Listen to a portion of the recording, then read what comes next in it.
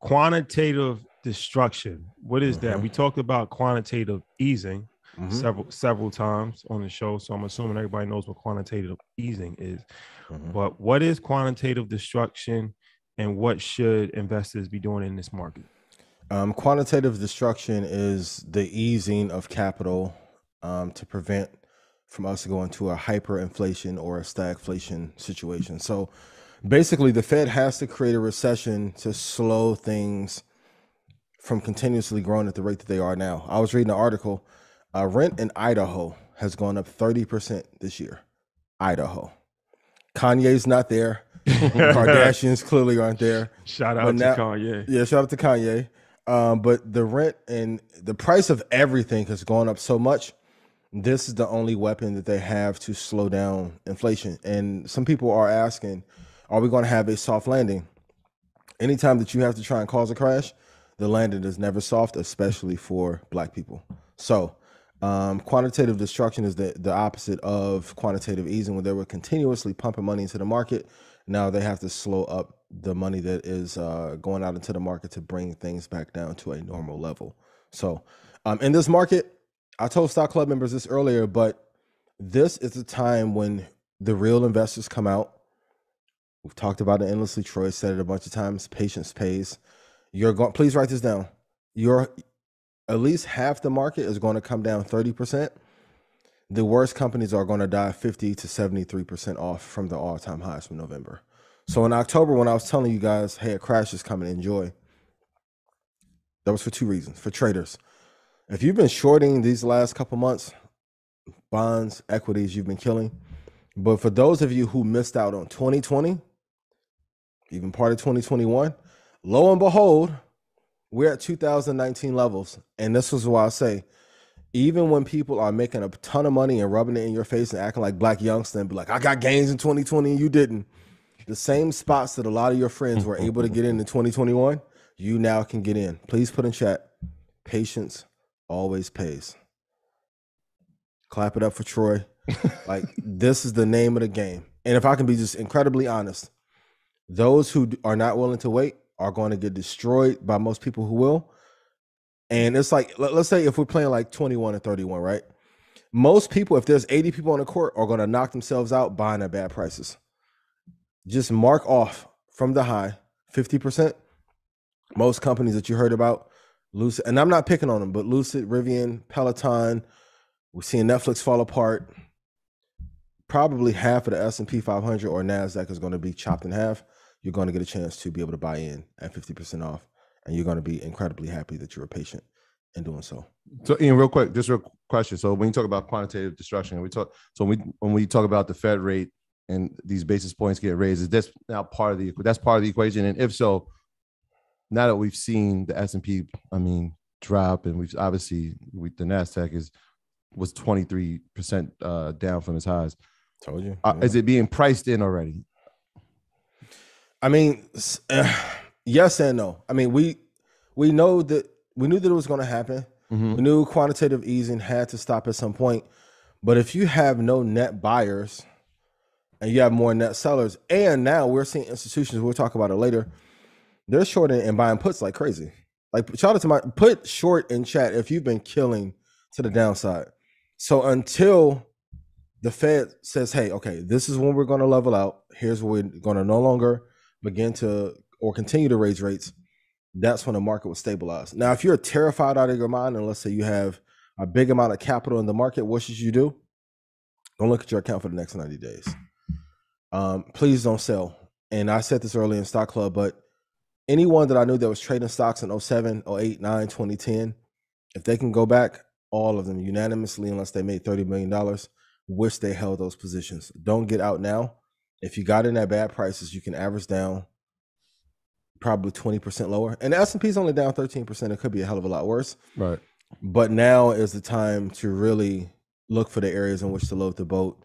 And when the Fed says, hey, okay, this is where we're going to level off, that's when you'll see us start to take off to the upside. So the Fed they just announced they're going to raise interest rates again this week. Uh, I think tomorrow, right? Yeah, Right. I think it said like tomorrow or 36 Wednesday. hours. I think Wednesday. Okay. I think Wednesday. Okay. So how is that? How is that going to affect the market? Gonna slap that bond market back down more. I mean, we were talking about this since August of the bond market topped August of 2020, and then when you have the government buying the bonds, and if you guys look at the chart, and maybe we can pull it up next week, the Fed and the government stopped buying equities at the exact top of the market. We're just in a in a tricky situation. Um, the easy gains. I saw a great quote earlier that the euphoria era is now over.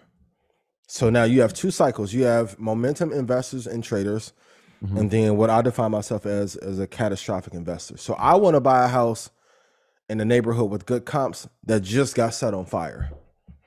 The, all the buildings are burning right now, right? So I want to wait till they're 50% off their value. Does it suck to hold even a winner? Like Apple's down 13%? Sucks. But I could be down 80%, 70% in Peloton or something else. So hold on for the long term. If you play this out for a year or two, you'll be incredibly happy. But these are the levels uh, where you want to buy. And we are just actually entering the areas of the market where we should have been if there wasn't excessive money being pumped into the market. Yeah. And, and this is one of those months like traditionally May is uh, uh April is a month where we see, you know, the, the S&P gain and we see the NASDAQ. It's a great month for trading. In May, obviously, you know, with the Memorial Day is usually the start of the summer, and we start to see the trend down in trading. The volume isn't the same, yeah. so it's almost looking like the storm is here. But oh, it's raining hard. Get your galoshes out. Yeah, yeah. There, there's some signs here that it, it could get a little bit more bumpy before it gets brighter outside. And then, as Obama said when he was in uh, office, the Democrats can get shellacked in the midterms. Midterms, right? So, so, so I mean, honestly, we have like nine months until like the storm is like technically over. So, but all right, if the Democrats lose midterms, and then let's say the Republicans actually take over, you know, the House and Senate, and then let's say hypothetically they win the presidency in two years, mm-hmm. we we we know that um, most recessions happen under Republican leadership. Mm-hmm. Historical fact. It's not yes. a political bias. I'm I'm actually a registered independent, but most recessions happen. The economy does worse when Republicans are in office. That's just a fact. Yes. So that's not encouraging. Another sign. Yeah, and we, and that was one of the things we said at the top of the year was like, yo, midterm elections, this is going to be key. This is going to be key. How does that affect the market? we kind of broke it down, but like the facts that you're saying right now are how it can affect the, the economy. And so it, all these signs are, are part of how you come up with when we talk about do your research, like add all these things into it and say, all right, now I mm-hmm. can make an educated decision on, on what I'm going to do. So when I was in third grade, right, I used to take my little papers and I was supposed to do my homework. Shout out to all my FCA family.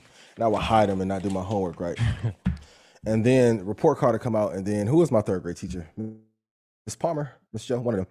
Um, she'd tell my mom and dad, like, hey, Ian's smart, but he wasn't doing his homework. And then my dad and mom would be like, listen, whatever you put it in the, in the wash, to come out in the rinse. So there's only a certain amount of time that we can borrow money at a low interest rate – and think every company on earth is amazing, even the ones with no revenue and terrible net profit. This reminds me a lot of 2091 all over again, c- kind of combined together. I say all that to say, when real estate is at exorbitant levels, venture capital, which that market is getting devastated, uh, is at exorbitant levels. So is the stock market, so is the angel market. The PPP money dried up. The Fed was kind of treating their ability to print like a scammer in Miami with the PPP loan. How long did we think this was going to last? I mean, I try to tell you guys from the from the very beginning, like it's only so long that you can print capital at this cheap, borrow at this cheap of a rate before we have devastation. I told you before, they are allowing people to make money over the last two years because of the devastation that's to come.